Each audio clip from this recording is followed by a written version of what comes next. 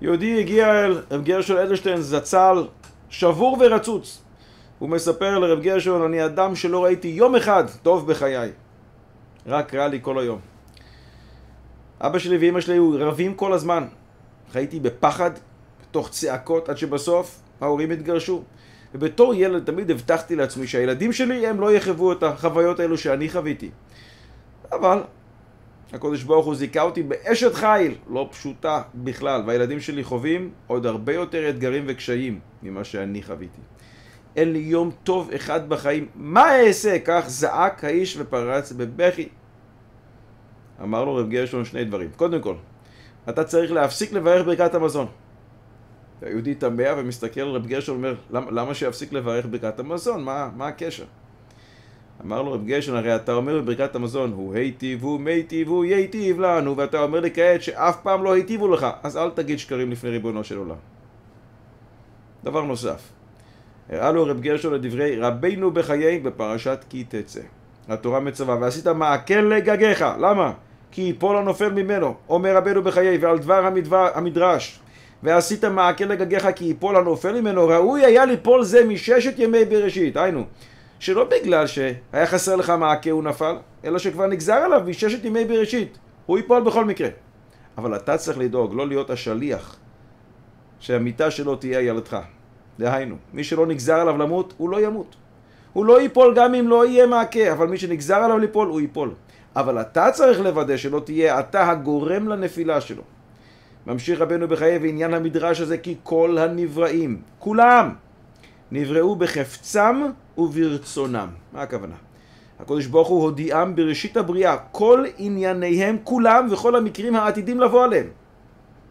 לפני שאדם בא לעולם, מראים לו בדיוק מה יהיה לו בחיים, איזו פרנסה תהיה לו, איזה צרות, וגם איזה דברים טובים, הכל. ממשיך רבנו בחיי, וכן הודיעם ימי חייהם ומיתתם איך תהיה, באיזו צורה אדם ימות. וכן עניין מזונותם, אם ברווח, אם בצער, אם על ידי עצמן או אם משל אחרים, וכך דרשו חז"ל. כל מעשה בראשית לדעתם נבראו, לצביונם נבראו, שנאמר וכל צבאם, והכל, כולם, רצו וקיבלו. אמר לו רב גרשון, אם רצית, יכולת להישאר למעלה. אבל כאן כתוב והכל, היינו כולם כולל כולם, רצו וקיבלו. ממשיך רבנו בחיי. ועל זה אמרו, ראוי היה ליפול מששת ימי בראשית, ואף על פי כן יש עונש גדול למי שמסבב את המיטה שלו, ולכן, ועשית מעקל לגגיך. אמר לו גרשון, מה אתה רוצה? אתה הסכמת. יכולת להישאר למעלה? אמרו לך מראש, מה יקרה לך בחיים? זו תהיה אשתך, אלה יהיו הילדים שלך, ואתה אמרת, אני מוכן לרדת. אז מה אתה בא בטענות? כשהיית שם למעלה, הבנת טוב טוב. שזה מצוין עבורך, והכל מחושב לטובתך, ואחרי 120, שוב, תחזור ותבין היטב, אבל בינתיים, רק תסמוך על הדברים. כי סוף סוף, כל מה, דאביד רחמנה, לטב אביד, כמו שאמרו בעלי המוסר, אל תשאל יותר מדי שאלות על הקדוש ברוך הוא, אל תיתן לו סיבה לקרוא לך שם, שתבוא אליו למעלה, כדי שהוא יוכל לענות לך שם תשובה. אז באמת צריך להתבונן, למה באמת הוא הסכים לרדת? מה, הוא כזה טיפש? מה טעם יש? לפספס את הישיבה שם בעליונים בשביל לרדת לפה לחיים קשים, מלאי אתגרים. מי צריך את זה? חופץ חיים ביאר. שבעצם הנשמה בכלל לא רוצה לרדת למטה. גם אם יגזר עליה חיים טובים. כסף לרוב, כמו גביר גדול. לפי שהיא מן העליונים. אבל אז אומרים לה שם למעלה, נשמה יקרה, דעי לך. את התואר עבד השם אי אפשר להשיג שם למעלה, אלא רק אם תרדי למטה ותעמדי בניסיונות, רק אז תזכי לכך. למעלה אי אפשר להתקדם, אי אפשר להיות עבד השם. ואז הנשמה מבקשת שיורידו אותה לכאן. העיקר הגדול זה כי היא רוצה לזכות בתואר הנכסף, עבד השם. נתרגם את הדברים לעצמנו, איך זה עובד. אנחנו נמצאים היום פה, בדור שלנו, עם כל הצרות שיש לנו היום. אבל כבר הסכמנו להם כשהיינו למעלה. אבל למה? למה אנחנו מסכימים להפסיד את החוויה העצומה להיות שם בעליונים, ובמקום זה לעבור צרות נוראיות ולעמוד בניסיונות? כי העיקר בסוף להצליח לזכות. לקבל את התואר עבד השם. פה בעולם הזה זה אולי לא כזה כבוד גדול לקבל את התואר, הוא עבד השם. אבל למעלה, עבד השם זו הפסגה אליה כולם שואפים.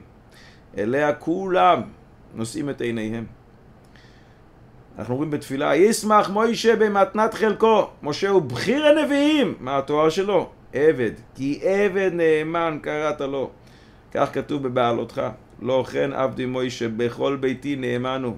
עבדי משה הוא עבד, זה התואר הכי גדול שלו, עבד נאמן. בשביל התואר הזה, עבד השם, כמה שהניסיון יותר קשה, ככה שכר גדול יותר. כמה שאדם מראה יותר אהבה לקודש ברוך הוא ועומד בניסיון, הוא מתגדל יותר. כל הגדול מחברו יצרו גדול ממנו. וכל מי שיצרו גדול מחברו והוא עומד בו, הוא גדול ממנו.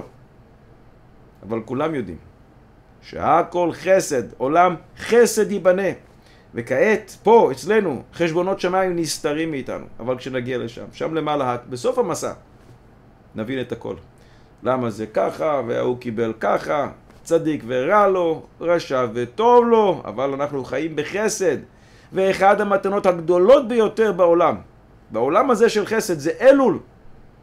גם אדם שהרשיע ופשע, נותנים לו הזדמנות לחזור בימי אלול. אלול הם ימים של רצון. כך כתוב בטור בתחילת הלכות ראש השנה, סימן תקפ"א. ושם מובא שזה בדיוק ה-40 יום שבהם מוישה רבנו עלה לקבל את הלוחות השניות ונתרצה לו הקדוש ברוך הוא למחול את העוון של העגל ולקבל שוב את לוחות הברית. באלול קל יותר לחזור בתשובה וגם מקבלים מאיתנו את התשובה יותר מהר. יהי רצון שהכי נזכה לחזור בתשובה שלימה, תשובה מאהבה ולהבין שהכל, הכל חסד מאיתו יתברך.